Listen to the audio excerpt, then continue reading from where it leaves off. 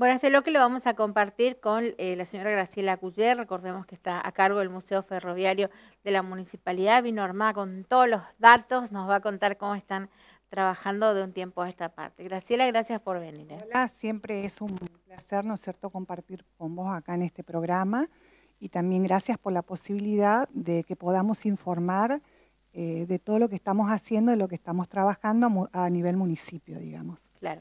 Bueno, ¿Cómo empezamos? ¿Qué nos querés contar? ¿Qué están haciendo? Bueno, eh, yo les cuento que el, Museo Ferroviario eh, se reinventó, digamos, con todo este tema de la pandemia, que muchas veces yo les digo a la gente no hay que tener miedo, sino que hay que ocuparse, hay que ocuparse con todo lo que es prevención y que creo que nuestra provincia se está manejando bastante bien todo este tema. Eh, con respecto a lo que es el, municipio, también el municipio, ¿no es cierto?, estamos abocados a toda estas tareas que nos permitió reinventarnos en esta pandemia y muchas de las áreas, de diferentes áreas, estamos colaborando, digamos, como para eh, que la, ciudad, ¿no es cierto?, salga adelante y, realmente toda esta gestión del ingeniero Joffre, tener una ciudad inclusiva, una ciudad moderna, una ciudad turística. Y desde ese punto de vista, el museo eh, trabaja, digamos, incesantemente sin bajar los brazos. Eh, en todo este tiempo hicimos muchísimas capacitaciones, porque también eh, todo el personal que trabaja son chicos jóvenes, como yo siempre digo, chicos jóvenes que se le da la, oportunidad de poder tener un trabajo y expresar lo que realmente para qué ellos se prepararon. La mayoría son guías de turismo, eh, son chicos también preparados en todo lo que es en el eh, profesorado de ciencias de la educación. Eh, y tenemos también gente, digamos, coleccionistas que se dedican al taller, a toda la parte también de restauración y constantemente se están, digamos, perfeccionando en, todas estas cosas. Em, quiero decirles que el Museo Ferroviario no bajó sus brazos, no cerró sus puertas, digamos, si eh, no lo podemos visitar, pero tenemos las puertas abiertas virtualmente, porque fuimos trabajando, eh, acercando a la gente eh, distintas alternativas, digamos, como para entretener, porque esto fue un momento también al principio de, mucho temor, digamos, que no sabíamos, muchas incertidumbres, que no sabíamos para dónde ir. Entonces nos tuvimos que reinventar como todos los, como todos los museos, ¿no es cierto? No solamente a nivel provincial, sino que a nivel nacional y mundialmente. Eh, participamos de un montón de foros, de conversatorios, eh, también estamos eh, incluidos también dentro de, los museos del NEA, que hace poco también hicimos, hubo varios foros, digamos, con todo lo que es la participación de museos del NEA. hace unos días, el viernes, sábado y domingo, también tuvimos un congreso de museólogos del país que fue muy interesante. Em, estamos armando una red a nivel de Latinoamérica de museos ferroviarios que, interactuamos, eh, interactuamos también y, nos, eh, cada uno transmite su experiencia desde el lugar, digamos, que está, desde el contexto que tenemos, eh, como para ver cómo salimos a flote con todo este, este nuevo escenario que se nos presenta y de volver a reinventarnos. Entonces, esa conexión que también hace, hace 15 días estuvimos en contacto con un conversatorio muy importante, con un foro que se realizó, eh, nos convocó el director de Museo Ferroviario de la Nación.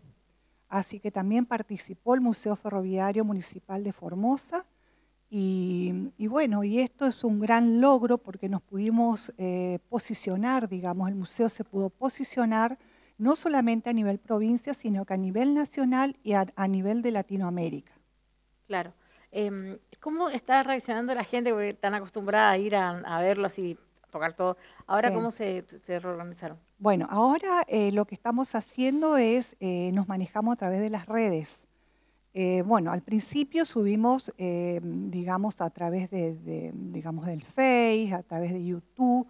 Eh, te digo así como un ejemplo. Primero empezamos a interactuar, que nos mandaban, viste, cada uno su experiencia aquellos ferroviarios, ¿no es cierto?, que, bueno, con todos, porque tienen tantas experiencias, digamos, nos fueron transmitiendo.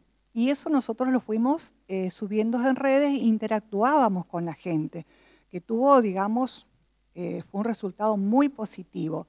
Después también pasamos eh, series, así de, películas importantes, de trenes importantes del mundo. bueno, trabajamos también con distintas efemérides, tratando, ¿no es cierto?, las efemérides no solamente, digamos, en, todo lo que tengan un contexto histórico de la historia, a qué se refiere, porque muchas veces vos decís, ah, bueno, es el día del trabajador, el día del... Pero la gente no sabe. Entonces lo que tratamos de hacer también que sea la educación informal. Eso es lo que tratamos de transmitir desde el museo, la educación informal. en, lo que ya tiene que ver con, con esta necesidad de reinventarnos, ¿cómo lo han hecho ustedes? Bueno, nosotros eh, en todo esto en ningún momento, digamos, bajamos los brazos, como yo te dije, eh, no nos asustamos, sino que nos ocupamos. En primer lugar, eh, nos tuvimos que acatar, acatar las órdenes, ¿no es cierto?, que vino de nación a nivel de provincia. Bueno, y, como todos saben, el museo forma parte de la Subsecretaría de Cultura, Turismo y Deporte. Nosotros dependemos de esa área. Em, entre todos trabajando en conjunto, porque gracias a esta buena gestión que tenemos también del, ingeniero, el intendente Jorge Joffre, eh, ya decimos somos como una comunidad de trabajo, ¿no es cierto? Somos, estamos muy organizados, es un grupo, digamos, muy fuerte de trabajo, entonces nos volvimos a reinventar todos y a colaborar, como te dije, no solamente museo, sino que también colaboramos en otras áreas para salir a la calle, eh, charlar con el vecino, de, contarle de qué se trataba toda esta pandemia, que no tengan miedo, la forma de que podía eh, prevenir, digamos, siguiendo todo, por supuesto, el lineamiento em, que constantemente, como sabemos, el ministro nos está informando eh, a través de la provincia. Eh, bueno, y nosotros, ¿cómo reinventarnos? Dijimos, bueno, nos podemos trabajar, porque hace un año que el museo abrió sus puertas y fue, digamos, no tuvimos descanso, no tuvimos descanso porque era impresionante, más de 20.000 personas eh, visitaron nuestros museos, nuestro, visitó nuestro museo. Entonces vos me decís, ¿cómo? ¿Cómo hicimos? Bueno, ¿cómo reinventarnos? También preparándonos nosotros.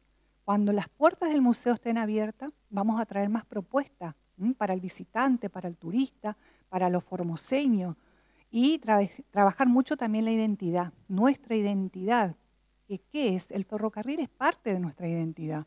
Eh, parte, ¿no es cierto?, de cómo se fueron eh, todo lo que trajo el apogeo que trajo el ferrocarril a Formosa y que mucha gente no sabe, desconoce cómo se fue, ¿no es cierto?, planificando la ciudad y cómo se modificó urbanísticamente la ciudad a partir de la llegada del ferrocarril a Formosa. Pero aparte ustedes, digo, de, esto que me estás contando, tienen eh, imágenes de todo, no solamente acá de Formosa, sino todo el interior también. todo el interior.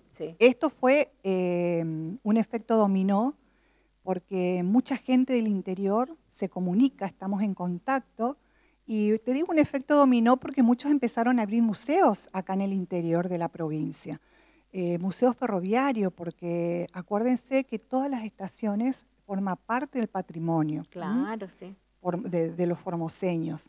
Entonces eso también tiene que saber, tiene que, tienen que conocer eh, para amar realmente su provincia, como siempre, ¿no es cierto?, decimos, porque si desconocemos cómo vamos a saber de dónde venimos, cómo fue nuestro principio, cómo Formosa y también cómo ciudad, cómo se fue, fue evolucionando no solamente todo el, interior, toda la provincia, sino que nuestra ciudad.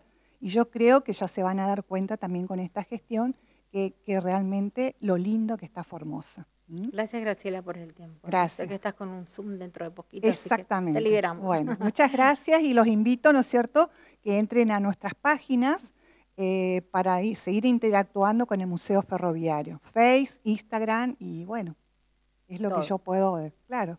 Muchas gracias. Muchísimas gracias. Bueno, nosotros por hoy nos estamos despidiendo, nos vamos a encontrar mañana aquí en Canal 7. Muchas gracias. A todos se nos la voz, en todos hay